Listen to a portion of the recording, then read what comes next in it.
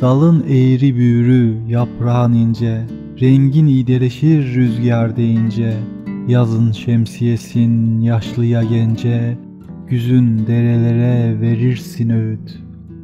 Sılacı dibinde unutur çile, Esintin avutur bozkırı bile, Dökün tozlarını sabah yeliyle, Akşam güneşiyle boyunu büyüt.